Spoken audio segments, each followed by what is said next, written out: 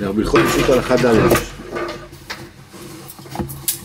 וירא אליו השם באלוני ממרא והוא יושב פתח האוהל כחום היום. וירא אליו השם זה מבחינת התגלות אלוקות שזוכים על ידי השגות התשעה היכלים שמשם כל ההשגות וכל ההתגלות. זה הולך הכל לפי תורה כ"ד לפי תורה כ"ד שם רבנו מסביר שעל ידי שיהודי עושה מצווה בשמחה אז עולה הקדושה מהקליפות, עולה הקדושה מהקליפות על שמחת המצווה, ואז היא, הקדושה עולה אל המלכות, ואז המלכות מתחילה לעלות, ועולה ומלבישה את נצח עוד יסוד, נצח עוד יסוד עולים מלבישים את, את, את חסד גבורה תפארת, והם עולים מלבישים את חב"ד, עד שמגיעים אל הכתר העליון, וכשמגיעים לכתר העליון, אז הכתר עוצר אותם. הכתר עוצר אותם, אבל ההשתוקקות של הבן אדם זה עליו... מה? לא נותן להם לעלות לאור אינסוף. לא נותן עוצר, זה כמו, הכתר הוא כמו מחיצה פרוסה, אבל המוחים רוצים להשיג אור אינסוף. אז נהיה הכאה, שהמוחים מכים בכתר, ואז נפתחים מזה תשעה היכלים. תשעה היכלים, לא, לא מדבקים, לא מתיידים, אז הזוהר הקדוש מדבר, זה, זה עולמות נפלאים אלה, ומשם, משם, משם משיגים את כל ההשגות אלוקות. זה וירא אליו השם. זה ההשגות שזכה להם אברהם אבינו. וכל כל ההשגות וכל ההתגלות, וזה אי אפשר לזכות. להשיג את ההשגות האלה, להכיר את השם, לראות אותו בהתגלות נפלאה כזאת, אפשר לזכות כי אם עדי שנכנסים בחיי התמורות ומבררים הקדושה משם. זה מה שאמרנו, שאדם עושה את המצווה בשמחה, אז עולה הקדושה מן הקליפות, זה רק מכוח שהוא נמצא בין הקליפות.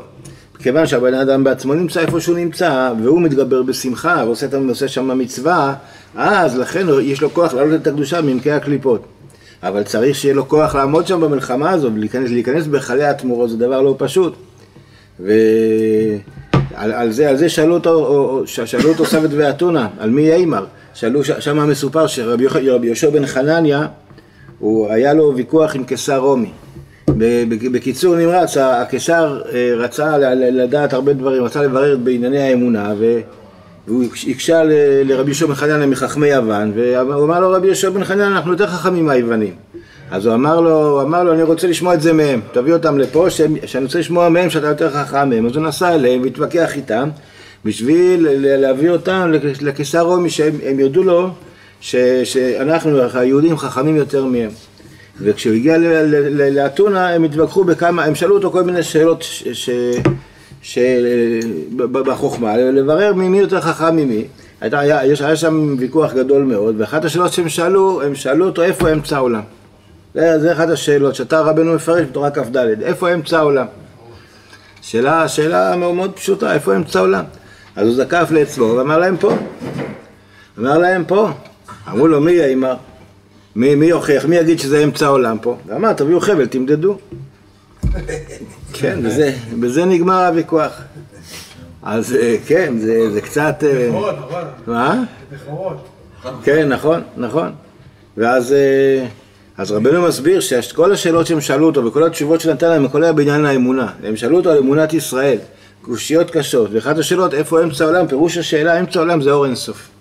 אור אינסוף זה האור שממנו משתלשל כל, כל העולם כולו. הם שאלו אותו איך אפשר להשיג אור אינסוף, כי אנחנו עם ישראל טוענים שאפשר לדבק באור אינסוף. ואצלם אין דבר כזה. אצלם שהם קראו רק על פי שכל, אי אפשר, אין, אי אפשר להידבק באינסוף. אז הם שאלו אותו, איך, איך, איך, איך אפשר להידבק באור אינסוף? אז הוא אמר להם כאן, על ידי, על ידי, הוא הראה להם עם האצבע, על ידי שהוא מעלה את, את, את הקדושה מהקליפות, ועולה בעליות, עולה, עולה, עולה, אפשר להגיע להשגת התשעה היכלים. נכון שאת האור אינסוף עצמו אי אפשר להשיג אותו, כי זה אינסוף, המוח שלנו לא קולט אינסוף. אבל אפשר לה, להגיע במתי ולא מתי על ידי תשעה היכלים. אז הם שאלו אותו מי האימר? כמו גם לשיטתך שאפשר להעלות את הקדושה למעלה כל כך, עם כל זה צריך לרדת מקודם להיכלי התמורות. וזה מי, מי יכול לרדת להיכלי התמורות? מי, כל מי שייכנס לשם לא יוצא משם. אז איך, איך אפשר להתחיל את התהליך? אז הוא אמר להם, מהי תואש לי ומושכו, תביאו חבל תמדדו, חבל זה ישראל שנקראים חבל נחלתו, ישראל חבל נחלתו, הוא אמר, אתם בעצמכם תביאו את ישראל, אתם חושבים שצריך להעלות את הקדושה מהקליפות, אתם הקליפות, אתם בעצמכם תוציאו את ישראל, אתם תריצו אותם למעלה. אז על ידי שעושים המצווה, את המצווה בשמחה, הקדושה עולה. אז, אז מי יאמר? זה מה שהם שאלו אותו, מי יכול לרדת לחלי התמורות? כי זה דבר לא פשוט. גם אנחנו, שאנחנו נמצאים שם, זה שאנחנו מצליחים להחזיק מעמד שם, זה רק בכוח הצדיק, שיש לו כוח באמת לרדת בכוונה ובכוחו יורד לתוך היכלי התמורות והוא מברר שם ברורים ומעלה אותם ואז גם אנחנו יכולים לעמוד במלחמה הזו אחרי שכבר נבלענו שם אבל, אבל באמת אלמלא הצדיק שהוא יורד לשם ויש לו כוח לעמוד בזה ולא לא, לא, לא להיגרר אחריהם אז גם אנחנו באמת לא היינו יכולים. אז הם שאלו אותו מי אימר אז זה, זה, זה, זה מרמז על העבודה הזו שאברהם אבינו היה לו את הכוח הזה. אברהם אבינו איך הוא זכה איך הוא זכה לה, להשיג את ההשגות אלוקות האלה וירא אליו השם לתשעה היכלים זה רק על ידי זה שהיה לו כוח לרדת להיכלי התמורות. זה מבחינת אלוני ממרא ממרא לשון תמורה לשון ויממר ימירנו ממרא זה לשון היכלי התמורות. התמורות זה אלה שמחליפים ומהפכים את האמת מהפך להפך. וזה באילוני ממרא, מבחינת השני אילנות שמילנה דחיה ואילנה דמוטה, לכן אילני, אילני שני אילנות. שהקליפות, אילני ממרא, הם ממירים ומחליפים את עץ החיים בעץ בהפך ששם אחיזת היכלי התמורות שרוצים להחליף ולהמיר אותם, את שני העצים האלה, להרחיק את האדם חס ושלום, אילנה דחיה, להרחיק את האדם מעץ החיים, אל ההפך חס ושלום. ועל ידם דייקה נגלה עליו השם. עד שזכה לברר אותם, לברר הטוב מהרע, ולהעלות הקדושה משם בפנות הנעל, דווקא על ידי חלי התמורות שאברהם אבינו נכנס לתוכם, הוא, הוא זכה לברר את הטוב מתוך הרע שם, להוציא את הטוב, להעלות אותו למעלה, עד שזכה להתגלות, להתגלות אלוקות, ואז הוא זכה לבאר אליו השם. כי זכה לעלות בעליות הנ"ל, שזכה להשגת השישה היכלים, שמשם כל ההתגלות. אז אברהם אבינו היה לו את הכוח הזה לרדת להיכלי התמורות, וזה כל מה שעבר עליו כל השנים הראשונות. מי, מישהו, אברהם אבינו, זה הרמב"ם מספר, סיפור של אברהם. מה? זה הכוח של הצדיק. היו הרבה צדיקים לפני אברהם אבינו. היה אדם הראשון, והיה שת, והיה שם ועבר, היה נוח, היה מתושלח. אף אחד מהם לא עשה דברים כאלה. אף אחד מהם לא זכה להתגלויות כאלה. כן, אברהם אבינו, כי הם, הם, הם היו צדיקים לעצמם, היה להם, הם, הם, הם בנו להם קריות, הם בנו להם אה, מקומות ששם הם, הם ישבו. ומי שרצה את הצדיק, מי שרצה את הקדושה, הוא מצא אותם. אבל מי שלא רצה, אז זהו, הם היו רחוקים מהם, היה להם קריאה כזאת, היה להם כזה, כזה מקום ששם, ישיבה כזו, שם הם ישבו ולמדו. והם לא התערבבו עם בני אדם, אבל אברהם אבינו, כיוון שנגמר על איתן זה, אברהם אבינו מרגע שהוא נולד, אז בהתחלה, בתור, עד גיל שנתיים, אז באמת הוא היה שקט. עוד לא, עוד לא, עוד לא בער בו האש, אבל כשהגיע לגיל שנתיים, כיוון שנגמר לאיתן זה, זה אברהם אבינו, התחיל לשוטט בדעתו, הוא התחיל לחשוב מה קורה כאן בעולם, והוא קטן, הוא היה ילד קטן, הוא התחיל לחשוב ביום ובלילה, כל הזמן זה, זה, זה העסיק אותו הדבר הזה, והיה תמה, איך אפשר שיהיה הגלגל הזה נוהג תמיד, ולא יהיה לו מנהיג? איך יכול להיות שהשמש זורחת ושוקעת, זורחת ושוקעת בסדר מיוחד, מסוים וידוע וברור, וגם הירח, כוכבים, המזלות, ואין לזה מנהיג, מי מנהיג את זה? ומי יסבב אותו? מי מסבב את הגלגל? כי אי אפשר שיסבב את עצמו. אין דבר בעולם שעושה את עצמו, ולא היה לו מלמד, ולא מודיע דבר. אף אחד לא, לא יודע לענות לו על השאלות שלו, אלא מושקע באור כסדים ונוודי כוכבים. והיה נמצא בין עובדי כוכבים, כולם משתחווים ללחמה בעצמה, משתחווים לכוכבים, למזלות. עובדי הכוכבים הטיפשים, ואביו ואמו וכל העם עובדי כוכבים, והוא עובד עמהם, וגם אברהם אבינו עובד כוכבים. כמו שכולם עושים, גם הוא עושה, וליבו משוטט ומבין, והוא מנסה להבין מה קורה כאן, עד שהשיג דרך האמת. בתוך שהוא נמצא בתוך זה וחוקר ושואל ומברר את הדברים, הוא השיג דרך האמת והבין קו הצדק, שכל העולם טועים, עוד קודם, מבין קו הצדק מתבונתו הנכונה, הוא הבין את זה מעצמו. זה לא היה לו רב, לא היה לו, לא היה, לא היה לו מורה. היה לו את מי לשאול. היה לו את מי לשאול, אבל לא היה מי שיענה. הוא שאל, הוא שאל כל מי שרק אפשר. אבל אף אחד לא ענה לו. והוא בעצמו הצליח להשיג את האמת, וידע שיש שם אלוה אחד, והוא מנהיג הגלגל. והוא ברא הכל, ואין בכל הנמצא אלוה חוץ ממנו, וידע שכל העולם טועים, ודבר שגרם להם לטעות זה שעובדים את הכוכבים ואת הצורות, עד שאבד האמת מדעתם. ובין 40 שנה הכיר אברהם את בוראו. לפי הרמב"ם בגיל 40 שנה הוא הגיע להכרה שלמה. כיוון שהכיר וידע, התחיל להשיב תשובות על כל בני אור כסדים ולערוך דין עמהם. עכשיו בגיל 40, עד גיל 40 הוא רק הלך, זה, זה נקרא ש, ש, שהמחשבה רצה להשיג אור אינסוף. בגיל 40 הוא התחיל לרדת להיכלי התמורות. אז עכשיו הוא מתחיל להתווכח איתם. הוא יוצא אליהם, מתחיל לדבר איתם, ולערוך דין עמהם, ולומר שאין זו דרך האמת. שאתם הולכים בה. שם ועבר לא עשו כך, שם ועבר לימדו דרך האמת למי שבא אליהם, אבל הם לא התחילו לריב עם אנשים, הם ישבו להם בצד, ומי שרצה אותם בא אליהם, מי שלא רצה אותם, אז הניחו לו. אברהם לא ככה, הוא רץ, רץ אחרי אנשים, ואמר להם, זה לא דרך, שאתם, לא דרך האמת מה שאתם הולכים בה, ושיבר הצלמים. כל הסיפור שאנחנו יודעים שהוא שבר את הצלמים של אבא שלו, הוא לא היה ילד, הוא היה בן 40 שנה. והוא שבר את הצלמים, אבא שלו שאל אותו, מי שבר את הצלמים? הוא אמר, זה הגדול הזה עם, עם הקרש. אז, אז אבא שלו אמר לו, מה, זה, זה, זה, זה, אתה שומע מה שאתה מדבר? אתה שומע מה שאתה מדבר? זה הגדול שבר, הרי הוא עשוי, עשוי מזה, עשוי מעץ, מאבן, מזהב, זה, זה יכול לשבור צלמים, זה, זה אברהם אבינו, אתה שומע מה שאתה מדבר? הוא לא יכול לעשות, לא יכול לשבור, אז אתה עובד לו, אתה מתפלל אליו. זה הכל היה בגיל, בגיל מבוגר. והתחיל להודיע לעם שאין ראוי לעבוד אלא לאלוה העולם. ולא ראוי, ראוי להשתחוות ולהקריב ולנסך, כדי שיכירו כל הברואים הבאים, וראוי לאבד ולשבר כל הצורות, כדי שלא יטעו בהם כל העם, כמו אלו שמדברים שאין שם אלוה, אלא אלו. אז הוא אמר, את העבודה הזרה צריך להחריט, לא, זה, אי אפשר לעבוד גם עבודה זרה, גם להאמין בהשם וגם לעבוד עבודה זרה, צריך להפסיק את זה, את כל הפסלים לשבור רק להשם לבד, כיוון שגבר עליהם בראיותיו, כיוון שהם ראו שהוא אה, חכם יותר מהם ואין להם תשובה לשאלות שלו ולהוכחות שלו, ביקש המלך להורגו, החליטו לפתור את זה בצורה אלגנטית, פשוט להרוג אותו ויפסיק לבלבל לנו במוח, ונעשה לו נס ויצא לחרן, אבל לא, לא הצליחו להרוג אותו, זה היכלי התמורות. זה, הוא נכנס לשם בכל כל כולו, עד, עד סכנת מוות, זרקו אותו כבר לתוך האש, הוא היה בתוך האש. נמרוד. עם נמרוד, כן, נמרוד. נמרוד הוא היה ראש לכל אלו. כן. ויצא לחרן, התחיל לעמוד ולקרוא בקול גדול לכל העולם, ולהודיעם שיש שם אלוה אחד לכל העולם, לכל העולם, ולא ראוי לעבוד.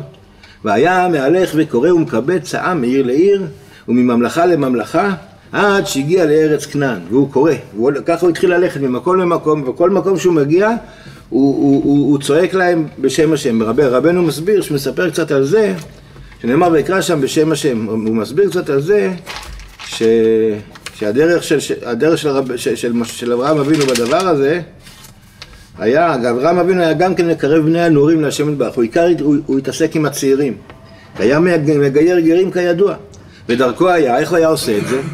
כשהיה בא בתוך העיר, הוא היה עובר מעיר לעיר, והוא מגיע לאיזה עיר, והיה רץ בתוך העיר. פתאום התחיל לרוץ לתוך העיר, בפנים, בריצה, בתוך העיר עד, עד לכיכר המרכזית, והיה צועק אוי אוי, גוואלד, גוואלד, והיה צועק גוואלד, אוי, אוי, והיו רצים אחריו, כמו שרודפים אחריו משוגע. כולם התחילו לרוץ אחריו, הילדים והבחורים, זורקים עליו אבנים, צוחקים ממנו, מושכים לו בבגדים, מושכים לו בפאות. הוא היה טוען עמהם הרבה, שהם כולם בטעותים, וזה מה שהוא רצה, הם התחילו להתווכח איתם. מה, מה אתם חושבים? מה אתם חושבים שאתם יודעים משהו? אתם, הכל טעות אצלכם, טעותים גדולים, כי היה בקיא בכל השכליות. אז, אז אברהם אבינו היה, היה היכלי התמורות, הוא נכנס בכוח בת, בתוך הקליפות, הוא לא פחד משום דבר, עשה את עצמו משוגע, הוא הכניס את עצמו בסכנת מוות. עד שהתקבצו אליו אלפים ורבבות.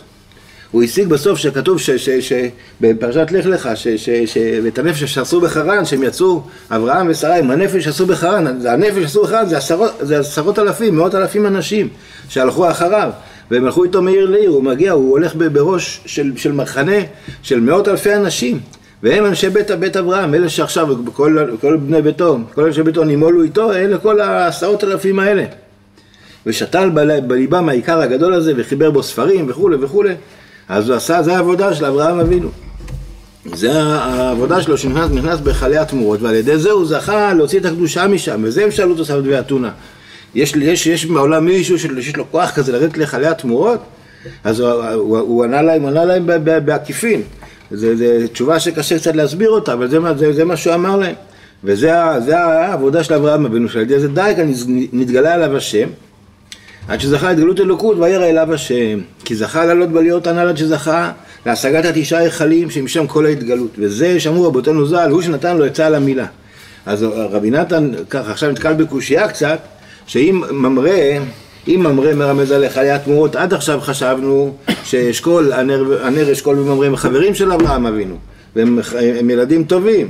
וממרא נתן לו עצה על המילה אז הוא היה בחלקו זאת אומרת היה חבר שלו. ופה רבי נתן אומר שהוא היה אויב שלו שממרא מרמז לחלי התמורות. אז מה זה נקרא, מה זה נקרא שהוא נתן לו עצה על המילה? הוא נתן לו עצה על המילה? הרי זהו הפך המילה, הוא לא רוצה את המילה, אם הוא מחלי התמורות, זה בחינת בפרעה הקריב. זה, זה, זה אותו דבר כמו שכתוב בפרעה הקריב, שישראל יצאו ממצרים, אז היה מצב ש, שבהתחלה הם ברחו מפרעה. במשך יום וחצי, יום, יום ולילה הם ברחו. הם הלכו, יצאו ממצרים בלי, בלי, בלי, בלי להפסיק, יום, יום ולילה הם הלכו, לא, לא, לא נחו, לא, לא עצרו לרגע, ופרעה שלח אחריהם, שלח אחריהם מרגלים לראות אם הם לא בורחים, והמרגלים הלכו איתם יום וחצי, וראו שהם ממשיכים לרוץ, אז, אז הם אמרו כבר אין להם זמן לחזור, אמרו שיוצאים של, לשלושה ימים, יום וחצי הם הלכו, ואחרי יום וחצי לחזור, והם לא חוזרים, זאת אומרת שהם לא חוזרים, הם לא מתכוננים לחזור, ישר השלוחים חזרו למצרים, להודיע לפרעה שישראל בורחים, ואיך שהשלוחים עזבו, ישר משה רבינו עוצר את כולם וחוזרים חזרה. מה חוזרים חזרה? לאן חוזרים חזרה? חוזרים למצרים, מחזיר אותם למצרים, עם ישראל לא מבינים מה קורה כאן. חוזרים למצרים, הרי מי, אף אחד לא חשב, אנחנו יוצאים עכשיו, יוצאים לחירות. לא, חוזרים למצרים. חוזרים למצרים ונעצרו ליד פי החירות, על הים. ופרעה בינתיים אוסף את כל החיילים שלו, מתחיל לרוץ אחריהם, משיג אותם שם, משיג את עם ישראל על, על הים, וישראל אין להם לאן לברוח. בצד אחד הים, בצד שני המדבר, בצד שלישי חיות רעות, מאחוריהם פרעה, ופרעה הקריב, ככה כתוב, פרעה הקריב, לא כתוב פרעה התקרב, פרעה הקריב, שהקריב את ישראל לאביהם שבשמיים. המצוקה הזו שהם נקלעו לתוכה, הביא אותם לצעוק להשם. דווקא על ידי פרעה, שרדף אותם, על ידי זה הם התקרבו להשם, התחילו לצעוק להשם. כי מי שחס על חייו האמיתיים, הנצחיים, כל מה שרואה שעשית רעך, שמבחינת היכלי התמורות מתגברים, ומשתטחים, ומתפשטים יותר ויותר, כמו כן הוא מתגבר ומתאמץ ומזדרז יותר, להתקרב להשם יתברך. מחמת שרואה שרוצים חס ושלום לדחותו לגמרי חס ושלום. אז, אז הדרך הנכונה, הדרך האמיתית היא שאדם רואה שהיכלי התמורות מתגברים כנגדו, הוא צריך להתחזק, להתקרב על ידי זה, לא, לא ליפול מזה, לא, לא להתבלבל מזה, כי, כי זה, זה, זה, דבר מפחיד, פתאום רואים ש, ש, ש, ש, שכל מה שהשגתי, הכל נהרס, כל מה שיצאנו ממצרים, כבר התרחקנו, כבר, כבר איפה, פרעה לא יכול להשיג אותנו, פתאום חוזרים אליו בחזרה, ועוד משה לוקח אותנו בחזרה, ופרעה מגיע, אז, אז, אז במקום ליפול בייאוש ובעצבות, מתחילים לצעוק להשם, זה הדרך הנכונה. זה הדרך הנכונה, שכמה שאדם רואה שהקליפות מתגברים עליו, הוא צריך יותר לצעוק, יותר להתקרב. וזה באמת התרחקות, תכלית ההתקרבות. אם אדם זוכה להתנהג ככה, להגיב ככה, אז שיש לו ירידה, ומהירידה הוא צועק להשם, זה, זה, זה, זה לא ירידה, זה תכלית ההתקרבות, להפך, הוא התקרב להשם על ידי זה. ירידה תכלית העלייה, זה לא הייתה ירידה בכלל, זה עלייה. זה, זה התכלית העלייה, זה העלייה הכי גדולה, כי אז הוא קרוב להשם. וזה מבחינתו שנתן לו עצה על המילה. זה מה שהיה עם אברהם אבינו. שחז"ל אומרים שממרא נתן לו עצה על המילה שחלי התמורות הם קירבו אותו אה, אה, אה, אל, המצווה הזו של, של, של, של, של ברית מילה, דהיינו למול את עורלת לבבו. אברהם אבינו הבין שכל מה שהם רודפים אותו, כל מה שהם רוצים להרוג אותו זה בגלל שהוא עדיין לא שלם. אם הוא היה שלם באמת הם היו נכנעים אליו, היו מתבטלים לפניו. זה שהם מתגברים עליו זה סימן שהוא עדיין עדיין ערל, הלב שלו עדיין ערל, ודווקא מחמת זה הוא יתגבר לחפש מה לא בסדר אצלי, איפה עדיין, איפה עדיין אני צריך לטפל, לתקן, איפה צריך לשפר, כי די כאלה מבחינת ממרא, ותכלי התמורות שהתגברו והשתטחו עליו כל כך, על ידי זה דק נתייעץ למול את לבבו. ופרעה הקריב, זה לא שממרא רצה לקרב אותו, אלא ממרא ברדיפה שהוא רדף אותו, חילי התמורות, בלחצים שהפעילו עליו, בזה הם, הם נתנו לו כוח להתחזק עוד יותר ולהעמיק את העבודה שלו ואת הקשר שלו עם, עם הקדוש ברוך הוא, עד שהוא זכה לבאר אליו השם. וזה, והוא יושב פתח האוהל כחום היום. זה, זה, זה העניין שעבר עליו, שהוא היה יושב פתח האוהל, זה לא רק באותו היום, אומר רבי נתן, זה זמן ארוך. ישיבה לשון עכבה זמן רב, יושב זה כוונה שהרבה זמן הוא באותו מקום, הוא לא זז. כמו ותשבו בקדש ימים רבים, שמשה רבנו אומר לעם ישראל, אתם ישבתם בקדש הרבה זמן, ישיבה זה דבר ש, ש, ש, שהוא סטטי, הוא לא, לא, לא, לא נע, הוא לא מתקדם.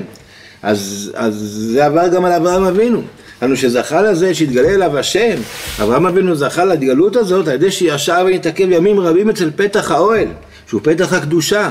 אברהם אבינו לא נכנס בקלות אל הקדושה, הקדוש ברוך הוא לא, לא, לא, לא התגלה לו עד גיל 70. אנחנו פה למדנו שבגיל 40 הכיר אברהם את ברו, הכיר אותו מדעתו, אבל הקדוש ברוך הוא לא החשיב לו על זה, הקדוש ברוך הוא לא הראה לו פנים על זה.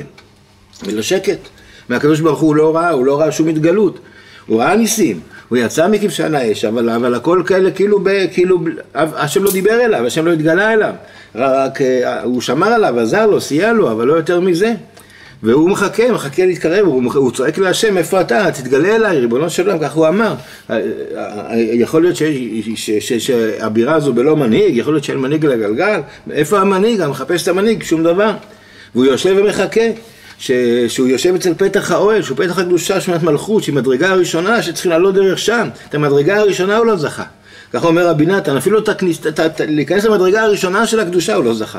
עד שיבוא להשגות הנ"ל שנקראת פתח, פתח ושער, המלכות זה המדרגה הראשונה נקראת הפתח והשער לכל ההשגות, זה השער להשם. אבל כשרוצים לכנוס לשם, כשיהודי רוצה להיכנס למדרגה הראשונה של הקדושה, הוא, הוא רוצה להיות, להיות צדיק, רוצה להיות איש כשר, מתגברים ומתפשטים כנגדו עשית רעך, שהם מכלי התמורות מאוד. מתגברים דווקא אז, דווקא ברגע שאדם רוצה להתחזק, רוצה להתקדש, הוא רוצה להיכנס אל הקדושה, ישר הם, הם קמים עליו. עד עכשיו הם שותקים, כשאדם ככה מסתובב לו בעולם, אוכל שותה, אז מה אכפת לו? טוב מאוד להם, אז הם מניחים לו, אבל ברגע שהוא רוצה לצאת מזה, הוא רוצה לקדש את עצמו, יש, הם נעמדים לו ועומדים לפניו, מה פתאום, אתה לא זז לשום מקום, אתה נשאר אצלנו.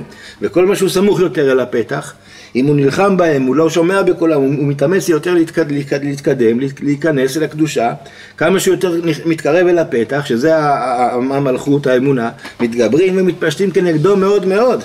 כמה שיותר הוא מתקרב, ככה נהיה יותר קשה המלחמה. עד שיש הרבה שכבר היו אצל הפתח וחזרו רחמנא ליצלן.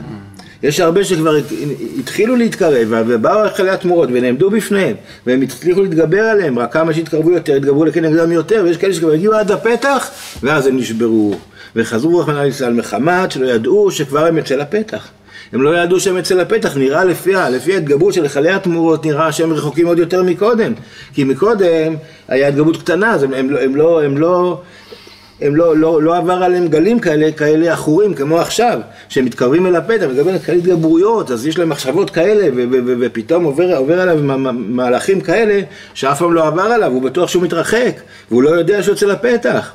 או שמשתטחים כנגדו מאוד מאוד עד שקשה לו לשברם, ויכול להיות שהוא מבין שיוצא לפתח ואין לו כבר כוח להילחם בהם, כי בהתחלה שהוא רק התחיל, אז היה לו מלחמות קלות, היה לו פה ושם, פה איזה ניסיון, שם איזה ניסיון, אבל כשהוא עומד בניסיונות הראשונים ומתקדם הלאה, אז באים לו ניסיונות קשים, ו- ויש מגיע מצב שכבר קשה לו לשבור את המניות, קשה לו כבר לעמוד בניסיונות, כמובן מזה בדבריו הקדושים, אבל הוא ישב ונתעכב פתח האוהל, אברהם אבינו עבר עליו כל זה, והוא לא התבלבל. הוא לא, לא, הוא לא זז מהמקום שהוא שם. הוא ישב ונתקף פתח האוהל כחום היום, מה זה כחום היום? מדברים עליו כל התאוות עוד פעם. לא עוד פעם, כל הזמן, זאת אומרת, התגברו את חמימות היצר הרע, כן. כחום היום, בשעה שהוא שעובר עליו כל אלה, והוא יושב פתח האוהל, הוא מחכה, הוא רוצה להיכנס, ובינתיים יש לו מניעות, יש לו קשיים, מכלי התמורות, בינתיים גם היצר הרע לא שקט, הוא מתגבר, מתחיל לבעור בו. שעל זה נאמר, איך תראה, איך תרביץ בצהריים, שבני ישראל שואלים את הקדוש ברוך הוא, איפה אתה רואה בצהריים? שאז זמן רע למרעה הצאן. כמו שפירש רש"י, בצהריים לא, לא לוקחים את הצאן למרעה, לוקחים אותם בבוקר, בצהריים מביאים אותם לאיזה, לאיזה, לאיזה עץ, לאיזה מקום מוצל, שינורו שם בזמן החום הגדול, ורק אחר כך כשהחום נחלש, כשהשם מתחילה לנטות, אז אז מוציאים אותם שוב. אבל בזמן הצהריים, איפה, איפה הרועה נמצא? זה, זה, זה, זה שואל, שואל, שואל את עם ישראל את, את, את הקדוש ברוך הוא, אני, אני כמו זה שנאבד מהעדר, כל העדר נמצא באיזה מקום, מונח באיזה מקום, אבל איפה? איפה המקום הזה? אחד תראה, אחד, תנור, אחד, אחד תרביץ בצהריים, איפה, איפה, איפה אתם נמצאים? מה זה הצהריים? זה מרמז? צהריים מבחינת חום היום, מבחינת חמימות היצר. איך, איפה יש מין מקום לנוח בזמן הזה שהיצר מתגבר, שהזמן רע לצום קודשים, שהצדיק רואה אותם, הרוצים לגשת אל הקודש. איפה יש מקום לנוח? איך אפשר לנוח בתוך כל, כל החמימות הזאת? איפה המקום ש, ש, ששם אפשר למצוא קצת צל? ורבים התרחקו על ידי זה. רחמנא ליצלן, על ידי הדבר הזה עוד יותר רבים התרחקו. חלק, המניעה הראשונה, מה שקשה לו, יש לו מניעות, זה גם מרחיק הרבה אנשים, שזה מלחמה קשה. והדבר השני, היצר הרע שמתגבר עליו, זה מפיל עוד יותר אנשים, הרבה יותר אנשים, שהם רואים פתאום ש, שהם בכלל לא כמו שהם חשבו. הם חשבו שהם יתקרבו להשם, יחזרו בתשובה, הם יהיו צדיקים, ופתאום הם לא צדיקים בכלל, הם יהיו יותר גרועים מקודם, כזה חמימות, אף פעם לא בער בהם יצר הרע כזה. והם כבר מתייאשים מעצמם, פשוט מתייאשים מעצמם ומתרחקים על ידי זה. כמו שכתוב עד שיפוח היום וכולי. שאו ישראל מקורבים להשם יתברך בגדולה, בגדולה וכבוד, עד שיפוח היום שיתגבר חמימות היום. כך היה בחורבן בית ראשון, כך היה בחורבן בית שני, על ידי זה נחרב הבית. על ידי ההתגברות הזו שהתגברה כנגד עם ישראל והם נפלו בדעתם. ועל ידי זה נחרב הבית. אבל מי שאינו רוצה להטעות את עצמו, מי שלא רוצה להטעות את עצמו וחושב על תכליתו הנצחי באמת, אם אדם רואה את כל זה, והוא רואה שאף על פי שהוא בא בתמימות, הוא התקרב להשם באמת, הוא בא לחזור בתשובה, רוצה להיות איש כשר, ופתאום מניות כאלה מכל הצדדים, וחמימות העצר כזאת, אבל בכל זאת, מה, מה יהיה? הוא מסתכל באמת לאן כל זה הולך, מה יהיה? אז מה, אני לחזור? מה, מה, מה יהיה? אז, אז מה אפשר לעשות? אז אדם שמסתכל ובאמת רוצה לראות מה יהיה בסוף של כל זה, אינו שב לאחור בשום אופן בעולם, יהיה איך שיהיה. אדם, אדם שבאמת מסתכל על הסוף, הוא, הוא רואה שאין ברירה, אין לאן ללכת, אין לאן לברוח, אין לי מקום לנוח, לא מוצא צל, אז מה, הוא יושב, פתח, הוא ממתין ומתעכב אצל הפתח ימים רבים, כמה שיהיה. כמה זמן שצריך לחכות עד שיפתחו לי, אז אני מחכה, מחכה, מנסה להיכנס מפה, מחכה להיכנס משם, ואף על פי שהם מניחים אותו להיכנס לתוך הפתח. וחום היום לוהט אותו מאוד, מצד אחד להיכנס לקדושה, לא נותנים לו, מצד שני הוא בוער באש נוראה, אף על פי כן. אינו מניח את מקומו, ויושב ומתעכב אצל הפתח האוהל של הצדיקים והכשרים, עד ירוחם מן השמיים. והוא יושב פתח האוהל כחום היום. זה עבר על אברהם אבינו, ש, ש, שכל זה עבר עליו. והקדושה לא נפתחה לפניו, ועובר עליו מה שעובר, אני לא יודע איזה יצר הרע אל אברהם אבינו, זה ודאי לא כמו היצר הרע שלנו, אבל בבחינה שלו, גם, גם אותו זה היה מענה. היצר הרע שלו, גם כן, הוא לא יכול לסבול את זה, הוא שונא את זה, וזה מתגבר, זה, זה, זה, זה, אין, אין פה הנחה לאף אחד. והכוח הזה שהיה, שהיה לאברהם אבינו, את זה צריך ללמוד ממנו, לעמוד מול הפתח, לא לחזור אחור. סיפר לי פעם הרב שהוא רצה לחזק אותי בנקודה הזו, שהיה בספרד, היה אנוס אחד, יהודי אנוס, קראו לו שלמה מולכו. שלמה מולכו היה, היה לו, היה בעל נכסים, היה, היה קרוב למלכות, וכשהיה גזירת הגירוש, אז הוא לא, לא יכל לעזוב את כל זה. והוא התנצר למראית עין, ובסתר היה שומר תורה ומצוות. והוא היה, היה בחצר המלוכה, היה קרוב מאוד למלך, היה מהגדולים שם בארמון. ופתאום הגיע לספרד יהודי אחד בשם דוד הראובני. דוד הראובני היה, היה יהודי משבט ראובן, שהוא הגיע מעבר לנהר הסמבטיון, בן אדם מיוחד במינו. היו דיבורים שלא נשמעו בעולם דיבורים כאלה, וכן כזה. וכל כל, כל מי שהוא דיבר איתו, אין, אין מי שעמד לפניו. והוא הגיע לספרד, התחיל לדבר איתם מאמונה ומחיות ומעם ישראל, ו, ושלמה מולכו שמע אותו ואמר, מה אני אנוס, מה אני מטורף, אני משוגע, יש כזה, כזה, יש השם בעולם, יש, יש אמת בעולם, עזב, זרק את הכל, התגלה לכולם, נדבק דוד הראובני, ודוד הראובני הזה היה לו תוכנית. היה לו תוכנית מה? אז מה? הוא מל את עצמו? כן, אה, עד כדי כך, עד כדי כך. אז אפילו לא היה נימול. בכל אופן, דוד הראובני היה לו תוכנית לכבוש את ארץ ישראל ביד המוסלמים. הוא רצה שמלך ספרד ייתן לו צבא, והוא ילך בראש הצבא של הנוצרים לארץ ישראל, לכבוש את ארץ ישראל כדי להקים כאן מדינה לעם ישראל. ועל ידי זה לקרב ביאת המשיח. ומלך ספרד שמע את כל הדברים שלו, היה תוכנית מופלאה, והוא אמר תוכנית יפה מאוד, רק שאני לא לבד בעולם. יש ברומא, יש האפיפיור.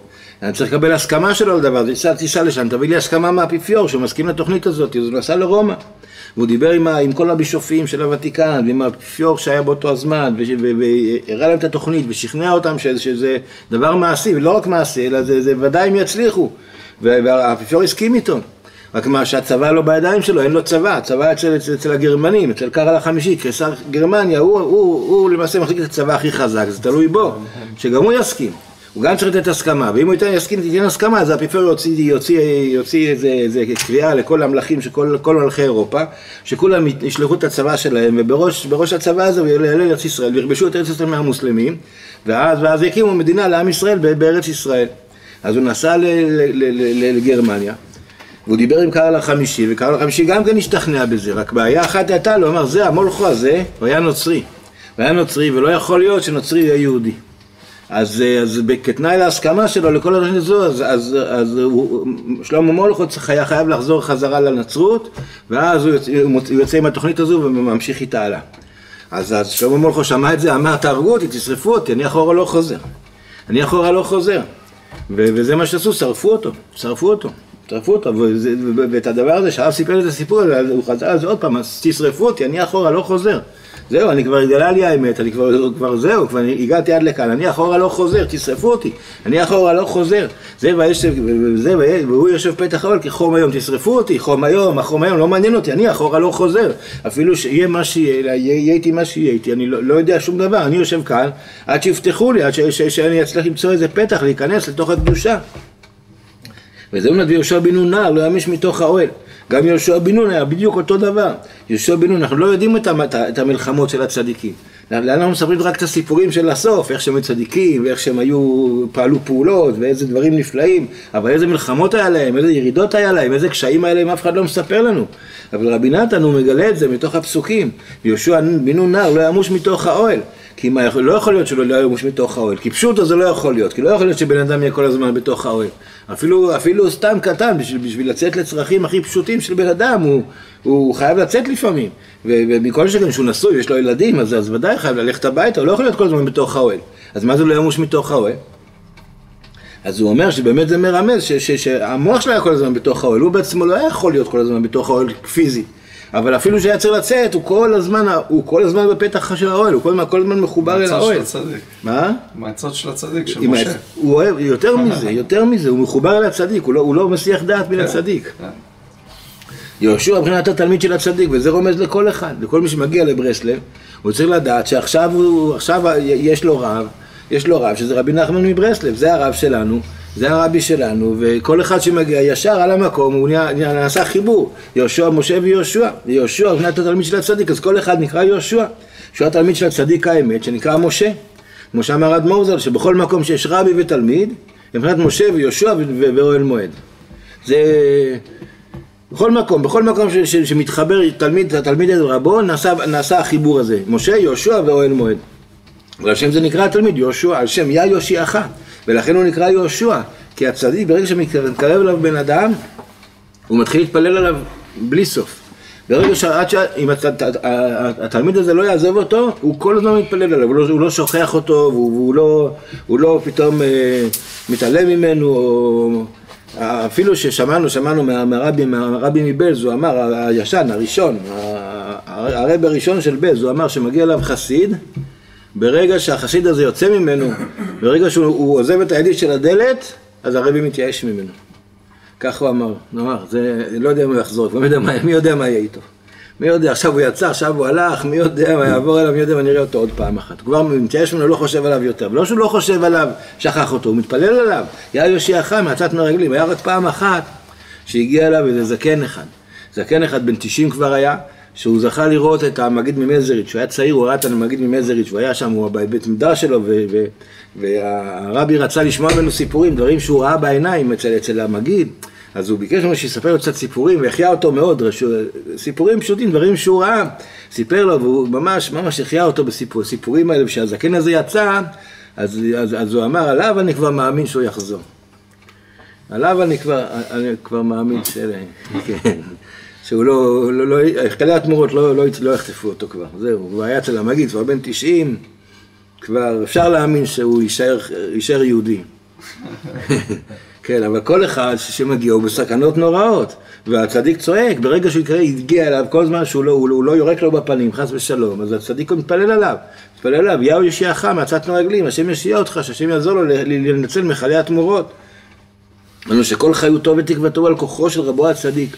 ואז התלמיד הזה, היהושע הזה, כל אחד ואחד שמתקרב, כל התקווה שלו וכל החיות שלו, הכל הכל מהרבי, מהרבי שלו, שזה זה, זה אחד שיכול כן לרדת לחלי התמורות והוא יכול לעמוד במלחמות האלה ועכשיו שאני בא משם, אני בא מתוך החלי התמורות, אני רוצה לצאת מהם אז, אז, אז הם לא נותנים לי לצאת, אבל הוא יכול לשבור אותם. כל התקווה, כל החיות עכשיו זה מכוח הרב הזה, שיש לו כוח כזה לעמוד כנגדם ולהמשיך לי חיות ולהוציא אותי משם.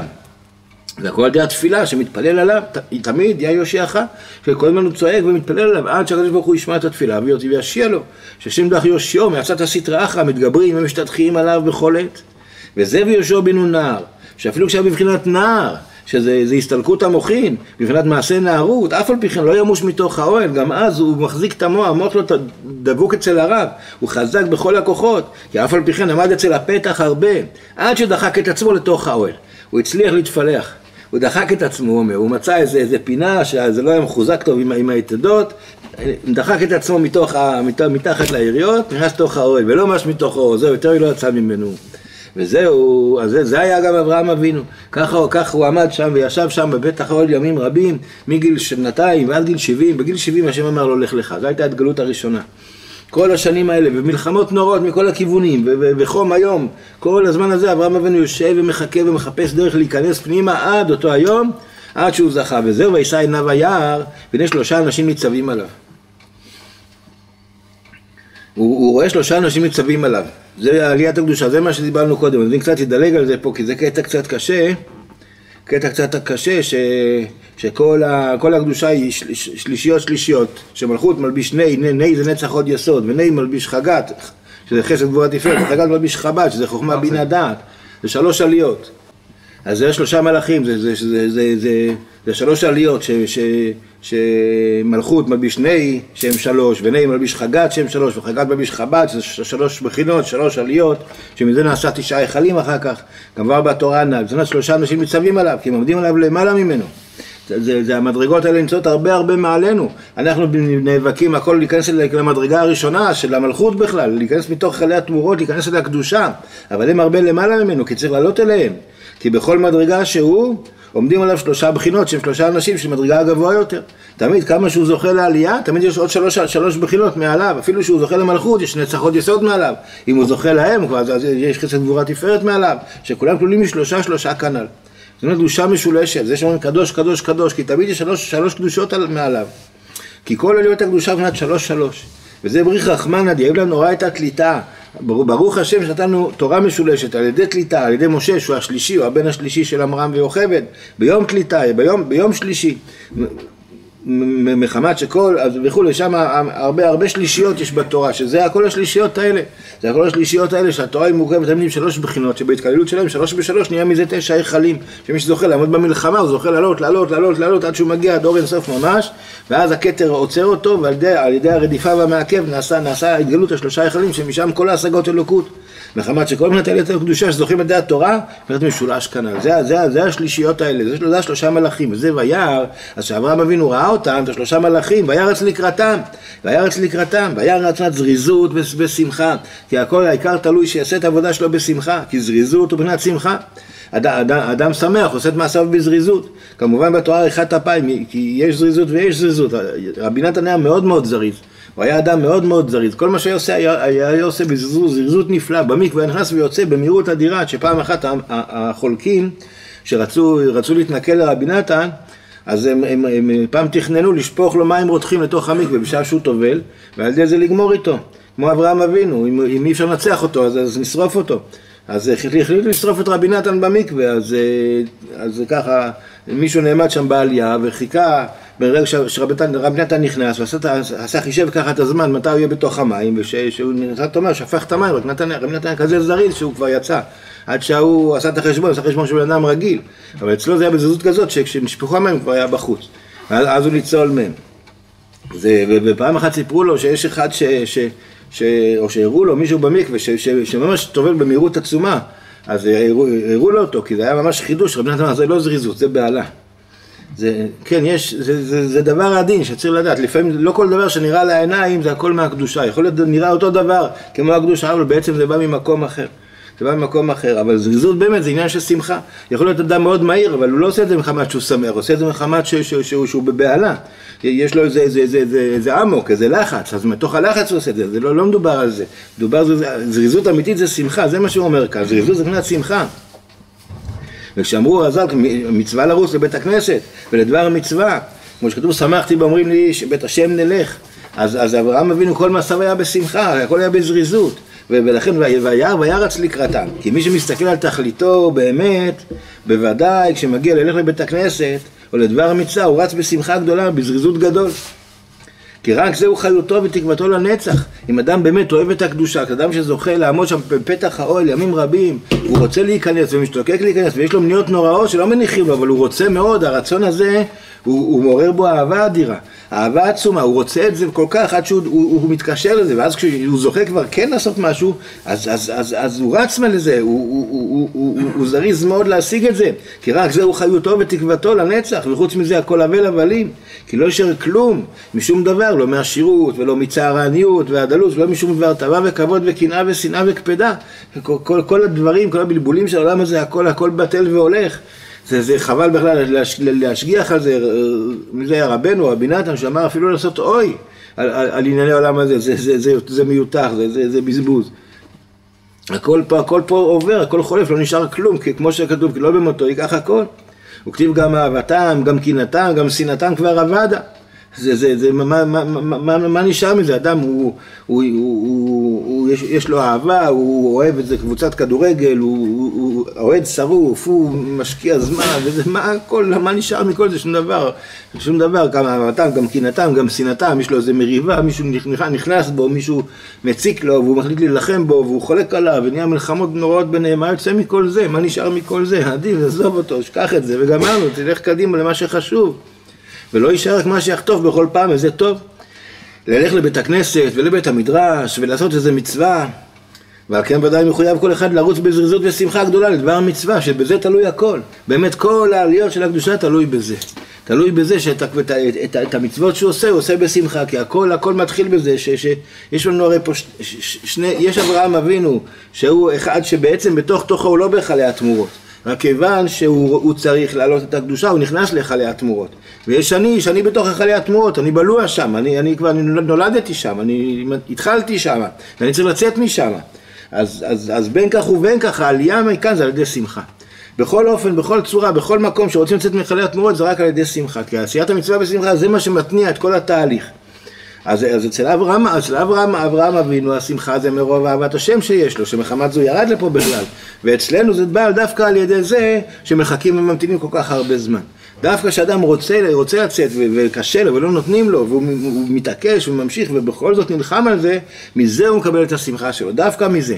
דווקא, וזה פרעה הקריב, דווקא מזה ש, ש, שמתגבר עליו כאלה התגברויות, דווקא מזה הוא זוכה לאהבה כזו. וכל, ולשמחה כזו, וכל מה שיודע שרחוק יותר מהשם יתברך, הוא מחויב לשמוח יותר. זה, זה, זה, זה, זה, זה, זה הדבר הכי פלאי בכל התורה של רבנו, שהוא חוזר על זה בכל מקום, באבן העזר, זה נקרא בכל, הקריירה של אבן העזר, זה מופיע הכי הרבה פעמים, שכמה שאדם הוא יותר רחוק מהשם, הוא חייב לשמוח יותר. ואי אפשר בלי זה. אי אפשר בלי זה, ואיך עושים את זה? זה, זה מין זה דבר בלתי אפשרי, כיוון שהוא רחוק, איך הוא יהיה שמח? איך הוא יהיה שמח? אבל באמת יש דרך בזה, זה הרבה נמצא ב, ב, בהמשך, בהלכות פריאה ורבייה, בהלכה, בהלכה, הלכה ג', הלכה ה', לא זה בהלכה ג' אני חושב, כן, שדווקא, דווקא, דווקא על ידי זה, דווקא כמה שהוא רחוק יותר, הוא, הוא, הוא, הוא ישים אל ליבו, שאדרבה, שאחד כמוני זוכה לזה מצווה, זה, זה שמחה גדולה מאוד, זה דווקא שמחה הרבה יותר גדולה.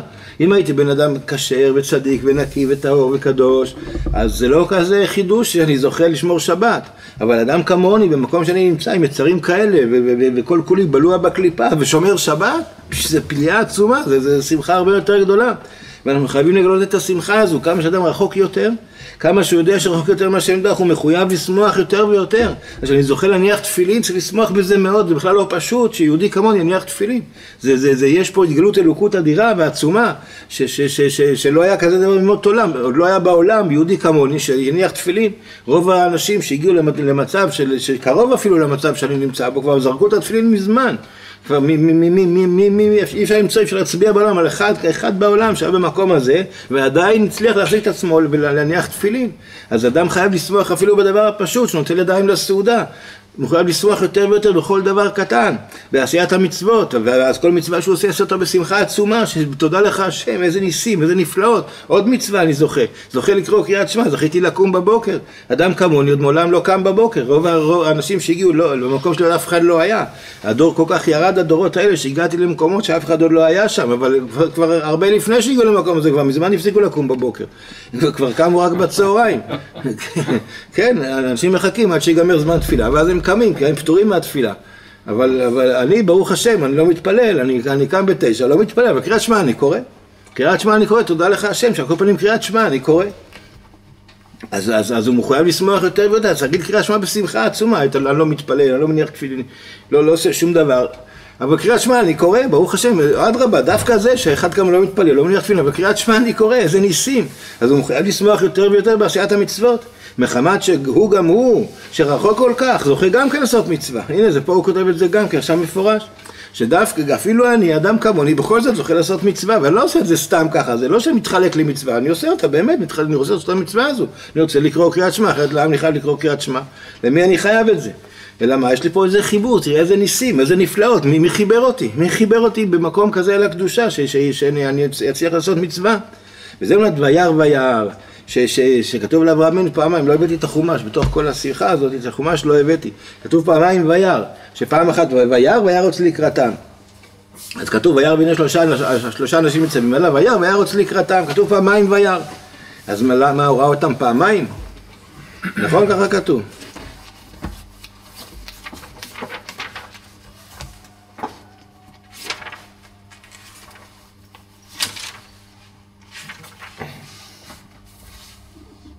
וישא עיניו, וירא והנה שלושה אנשים ניצבים עליו, וירא וירץ לקראתם. מה זה וירא השני? הוא כבר ראה אותם קודם. אז רש"י אומר, וירא השני, מהו וירא וירא שני פעמים? הראשון כמשמעו, שהוא ראה את המלאכים, והשני לשון הבנה. נסתכל שהיו ניצבים במקום אחד והבין שלא היו רוצים להטריחו. ואף על פי שיודעים היו שיצא לקראתם, עמדו במקומם לכבודו, להראותו, בקיצור, הראייה השנייה זה ראייה בשכל. זה ראייה, של, ראייה, ראייה בדעת, זה, זה, זה מה שרש"י מסביר. שהראייה השנייה זה, זה בדעת. הבין, שהבין היטב והסתכל על התכלית באמת. אז זה, זה, זה, כל הפירוש הזה שאנחנו מפרשים, זה נקרא דרך רמז. זה נקרא שמפרשים את, את, את, את, את כל הפרשה בדרך רמז, שמרמז לכל אחד ואחד. אז, אז הראייה הזו, השנייה, ההבנה הזו, שהבין היטב והסתכל על התכלית באמת.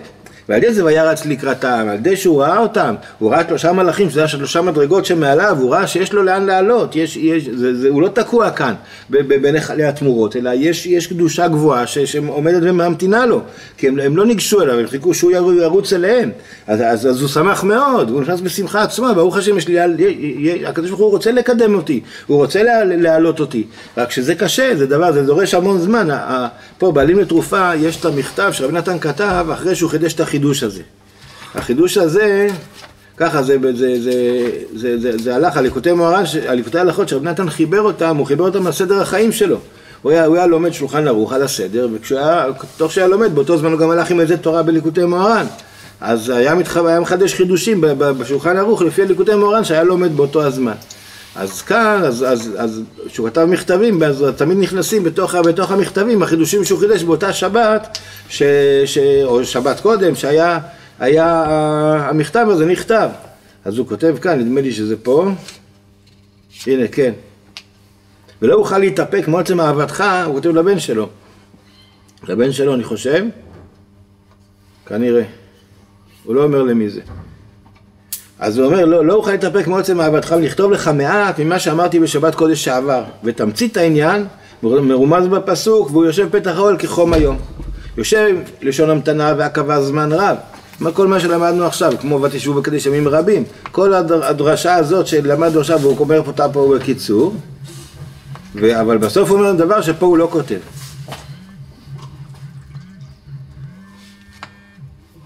ובימים הללו, הוא אומר, בכל מה שעובר עליי, או מה שאני שומע ממך, זאת אומרת, רבי נתן עכשיו מספר על עצמו, על החיים שלו, איך הדרשה הזו שאנחנו לומדים עכשיו, איך זה היה אצלו בחיים באותו הימים ממש.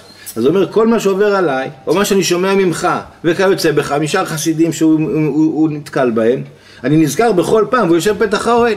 שצריך לחכות ולחכות ולחכות הרבה זמן, ואף על פי שהכיליון עיניים קשה מאוד, זה קשה מאוד לחכות, כי אנחנו מאוד מאוד רוצים, רוצים כבר להיכנס ורוצה להיות איש כשר, ועוד אומרים לי תחכה, תחכה, ואני מחכה ומחכה, וזה קשה מאוד, אף על פי כן. צריכים להחיות את עצמו ולחזק את עצמו בשמחה בכל עת, על פי הדרכים שהזהירנו אדמו"ר ז"ל. ובפרט שבתוך כך עוסקים קצת בתורה, בתפילה ומצוות, אשר חיינו ושמחתנו. יותר מזה אפשר להעריך וכולי. אז, אז, הוא אומר, אז, אז הוא אומר פה, פה הוא מודה בתוך זה ש, שהכיליון עיניים קשה מאוד. ההמתנה הזאת שאומרים לנו תחכה, תשב, זה לא כל כך פשוט. זה דבר מאוד מאוד קשה. אבל הוא אומר, בינתיים שאתה יושב, בינתיים שאתה מחכה ועובר עליך מה שעובר, וחום היום מתגבר, אז בינתיים תחיה, תשמח את עצמך, כי בזה תלוי הכל. בזה תלוי הכל. וזה זה, זה מה שהוא אומר כאן עכשיו, שאברהם אבינו ראה שלושה אנשים עומדים עליו, שהוא ראה והבין ש, שהקדושה פתוחה לפניו, רק שזה נמצא רחוק, זה נמצא למעלה, זה מדרגות גבוהות שעדיין לא הגיע אליהן, אז הוא התחזק בשמחה. הוא חזק את עצמו בשמחה שיש לי, לי תקווה, שעדיין יש לי תקווה, ולא עבדה תאכלתי מהשם. ובתפילה של, של התיקון הכללי רבי נתן מדבר, מתפלל על זה הרבה, תן לי תקווה ולא עובד, תן לי תקווה. מה זה תן לי תקווה? שאני ארגיש את התקווה, כי התקווה יש לנו, השם כבר, כבר הבטיח לנו את כל הדברים הכי טובים, מה זה תן לי תקווה? אלא שאדם הוא כבר מרגיש שאין תקווה, הוא אפס תקווה, תן לי תקווה, תן לי בלב תקווה, תן לי תחושה של תקווה, שאני ארגיש את התקווה, תן לי תקווה ולא עובד חס ושלום. ואת הדבר הזה צריך לעבוד עליו, הדבר הזה צריך לנפח אותו, צריך לעורר אותו, צריך לחזק אותו. וזה הנקודה, זה הנקודה של בזמן הזה שמחכים וממתינים ועובר על האדמה שעובר, לחזק את עצמו בכל, בכל הכוחות, להיות בשמחה. וזה וירא וירא שני פעמים, והבין שהבין היטב והסתכל על התכלית האמיתי, באמת, ועל ידי זה וירץ לקראתם. ואז הוא התחזק בשמחה, שברוך השם שאני עדיין, אני עדיין על המסלול. נכון שאני עוד לפני ההתחלה, אני יושב בפתח, עוד לפני הפתח, אבל על כל פנים אני על קו הזינוק. זאת אומרת, שמחת המצוות, שהוא משמח את עצמו במה שרק אפשר. שעל ידי זה עיקר עליית הקדושה מן הקליפות. ודווקא על ידי השמחה הזאת, הוא בינתיים עכשיו, בזמן שהוא מתעכב, הוא אוסף את כל, את כל הקדושה, את כל חלקי הקדושה שלו, הוא אוסף אותם עכשיו מהקליפות, זה מצטבר אצלו, זה מתקבץ אצלו. וכשיעלו אותו, הוא יעלה עם כל זה. הוא, אם הוא יעלה עכשיו, הוא יעלה חסר, הוא לא שלם עדיין, כי הרבה הרבה דברים, הרבה הרבה קדושות נשארו מאחורה. יפה שהוא רוצה לצאת מהקליפות, אבל הרבה הרבה, הרבה חלקי נשמה שלו נפלו לקליפות על ידי כל מה שעבר עליו עד עכשיו. וגם על, למרות שעכשיו שהוא יושב בפתח האוהל כחום היום, אז, אז חוזר ונופלים ניצוצות כל הזמן, נופלים כל הזמן קדושות חזרה אחורה, וזה הסיבה שצריך לחכות הרבה זמן. כי מצד אחד הוא מעלה אותם על ידי השמחה, ועל ידי הציפייה, ועל ידי התפילות, והקדושות שהוא כן זוכה להם, מצד שני על ידי חום היום שמתגבר עליו, זה חוזר ונופל, לכן זה לוקח הרבה הרבה זמן. אז, אז, אז, אז העיקר בינתיים, בזמן הזה שחזיר את עצמו בשמחה, שעל איזה עיקר עליית הקדושה מהקליפות. בשמחה הוא מנצח את המלחמה, עד שזוכים לעלות בעליות הנעל, עד שיגיע הרגע שיפתחו לו את הפתח ואז הוא מתחיל לרוץ. עולה עלייה אחרי עלייה, עלייה אחרי אחרי עלייה, המלכות מלביש נעים, נעים מלביש חגת, חגת, חגת מלביש חב"ד, עד שזוכה להשגת הכתר, עד שבאים להשגות הנעל. וזהו וירץ לקראתה מפתח האוהל.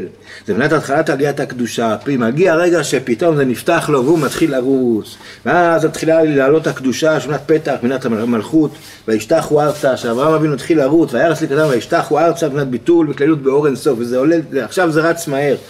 בהתחלה, בהתחלה ההמתנה זה הרבה זמן, וזה קשה מאוד, הכיליון עיניים קשה, וזה הרבה הרבה הרבה המתנה, והרבה הרבה שברון לב, והרבה אכזבות. כי האכזבות הן לא באמת, הן לא אמיתיות, האדם פשוט מצפה הרבה, הוא מחכה כל רגע, אולי עכשיו אני אזכה, וזה לא בא, אז הוא מתאכזב. זה, זה לא בא, כי זה עוד לא הגיע הזמן, זה עוד לא נשלם המלאכה. אבל, אבל בפועל הבן אדם מרגיש אכזבה. עם כל זה שזוכה להתגבר על כל זה ולחזיק את עצמו בשמחה ונפתח לו הפתח זה מתחיל לרוץ. אחר כך זה כבר מתחיל לרוץ עד שהוא זוכה לביטול כזה, כלליות באור אינסוף וזה וישתחו ארצה. כי כל ההשתחוואות הן מנת ביטול, שנופל לארץ ומשתחווה, השתחוויה זה בפישוט ידיים ורגליים, זה על, על, על הרצפה, על הפנים, בפשוט ידיים ורגליים וביטול כל ההרגשות, מחמת גודל אור הצח שנגלה אליו. הוא זוכה פשוט, זה, זה אור של תודה, אנחנו קוראים, משתחווים ומודים. ההשתחוויה זה תודה, זה, זה כזה דבקות בהשם, זה כזה הערה עצומה שהוא נופל על הרצפה, על הפנים, פשוט ידיים ורגליים, פשוט בתודה ושמחה עצומה, ובערגה ואהבה עצומה, את השגת התשעה היכלים, ואז נפתחים, שם נפתחים ההיכלות, שם אדם זוכה להכיר את השם, פתאום הוא רואה הכל, כל מה שעבר, כל מה שהיה, הוא, הוא, הוא מתחיל לקלוט, איזה, איזה חסדים עצומים נמשכים עליו בכל עת ורגע, זאת אומרת, השגת אור האינסוף, נתמתי ולא מתי, ואז הוא משיג את אור האינסוף, מבחינת מתי ולא מתי, נוגע ולא נוגע, כי אור האינסוף ממש אי אפשר להשיג אותו, כי הוא אינסוף, ואי אפשר להשיג אינסוף. במוח שלנו אי אפשר, אבל, אבל אפשר, אפשר לגעת בו. שזה נקרא מתי, נוגע לא נוגע, שהוא נוגע וחוזר, כי לגעת ממש אי אפשר, כי נדבקים, אבל, אבל זה נוגע לא נוגע, ש, שמשם נפתחים כל ההשגות, מה שכן אפשר להשיג, שם עיקר יש את החוויה, ואז זה מביא את אדם לתודה, להרגשה כזו, שכזו הרגשה ש, ש, ש, של אין סוף, שהקדוש ברוך הוא עומד מולו, אין סוף לגמרי לגמרי, ואני אפס ועין לפניו, מודה לו על כל דבר, זה, זה כזו אהבה, זה כזה ביטול, כזה כזה תודה, זה ביטול כנ"ל, משעדי השמחה, שנת וירוץ לקראתם, על ידי זכר בנת השגת אורות הצחצחות הנעל. דווקא על ידי השמחה, שהוא זכה לשמח את עצמו, ולרוץ למעלה כל הזמן, למשוך את עצמו בכל הכוחות למעלה, אפילו שלא נותנים לו ולא מניחים לו. אז כאשר שזה נפתח, הוא רץ וטס למעלה, ששם מבחינתה יש את החוויה עד שזוכה להשגות הנוראות האלה, ששם זה התודה והאהבה והדבקות בהשם. וזהו, ויאמר, ויאמר השם, אם נמצאתי חן בעיניך, אל נא תעבור מעל עבדיך. אז כשהוא זוכה לכל זה, אז יש לו בקשה אחת מהשם. בבקשה ריבונו שלי, מצאתי חן בעיניך, אל נא תעבור מעל עבדיך. אל תחזיר אותי חזרה לשם. פעם אחת הרב אמר לי שככה דאגנו קצת על מה שקורה איתי, שאני בן אדם כזה לא יציב, וכל שניה עלול ליפול חזרה לקליפות, ומי יודע לאיפה אני אמצא את עצמי, בקוסטה ריקה או בשטוטגרד, ומי יודע לאן אני אגיע. אז, אז, אז הוא אמר לי, אתה צריך להתפלל להשם, תגיד להשם, אתה התבלבלת? קרה משהו, טעית, הכנסת אותי לקדושה, רציתי להכניס מישהו אחר, במקרה זה תפסת אותי, אני לא יודע מה. אז, אז זהו, גמרנו, אל, אל תעזוב אותי, אל תעזוב אותי. כבר תפסת, כבר הכנסת אותי, אל, אל, אל תרחיק אותי. אפילו זה היה טעות, אפילו זה היה בלבול, לא יודע מה, היה איזה חלי התמורות, התבלבלו, הכניסו אותי במקום מישהו אחר, אבל כבר הראית לי את הטוב הזה, אז אל תרחיק אותי. אז, אז, אז, אז הוא מבקש, אל נא תעבור מעל עבדיך. תעשה ריבונו שלם, הבאת אותי עד לכאן, די. מעכשיו אל נא תעבור מעל עבדיך, שביקש מהשם דרך שלא יעבור ממנו, שלא יעבור ממנו, אל תעזוב אותי יותר. יענו שלא יעבור ההתגלות הזאת, אז שיישאר אצלו ממנו רשימה טובה, כי שיישאר תמיד בדבקות הזו אי אפשר. זה, זה אדם, אדם לא נברא בשביל להיות בדבקות, אדם נברא בשביל לעבוד, היום לעשות, הוא יכול לקבל שכרם. אז, אז בהכרח חייבים לצאת מהדבקות הזו ולחזור חזרה לעולם העשייה, למלחמה ולמאבקים כי אף על פי שהוא, שהוא יכול להיות שיצא מכלי התמורות, יש עוד הרבה שנמצאים שם, אתה לא יכול עכשיו להתעלם מכל העולם ולעשות זהו, ברוך השם, הגעתי עכשיו לאן שצריך, הגעת לכאן, עכשיו תרד חזרה, תביא אחרים, כמו שדיברנו פה לפני כמה שיעורים על, על, על הגר הזה שרצה ללמוד את התורה על רגל אחת. שאי אפשר רגל אחת, צריך שתי רגליים, צריך עליות וירידות, אדם חייב לרדת, אבל כשאני יורד, הוא אומר, על כל פנים שאני יורד, שאני לא אשכח את מה שראיתי, שישאר מזה רשימה טובה, שצריכים להשתדל מאוד, שלא יעבור ממנו התגלות מהרה. כי האדם חייב לחזור חזרה אחורה, חייב, חייב לצאת מה, מה, מהאור הנורא הזה, אבל כשהוא יוצא משם, שישאר לו רשימה חזקה, שהוא לא ישכח את זה מהר. עד שישאר לו רשימה טובה, שיוכל לחיות את עצמו תמיד, ואז אם יישאר לו רשימה, אז אפילו שיבוא עליו עכשיו עוד פעם מלחמות חזק חדשות, ועוד פעם יהיה לו, יהיה לו, יהיה לו כל, כל אחד לפי עניינו, תמיד הוא יזכור שכבר ראיתי משהו. כבר ראיתי, כבר זכיתי כבר פעם אחת לצאת מפה, ראיתי באמת את, את, את גודל האהבה וה, וה, וה, וה, והנעימות של אור אינסוף, שאם נמשיך נחכה הלאה, נעבור את המלחמה הזו, נזכה לזה שוב, עד שנזכה לעתיד לבוא בעזרת השם, להיות קבועים שם תמיד. כי היום לעשותם זה רק היום, כל זמן ש, ש, ש, ש, שאנחנו בגלות, שהעולם עדיין לא הגיע לתיקון, ועוד מעט יבוא משיח, יהיה תיקון. ואז כבר נהיה כולנו בדבקות הזו לעולמים, או שהרצון ושוב יהיה במדרגות עליונות. עכשיו שהמצב הוא כל כך קשה והיכלי התמורות מאיימים עלינו באיומים הכי נוראים שהבעל שם פעם אמר, לפני פטירתו הוא אמר את זה, אדם יכול לעמוד.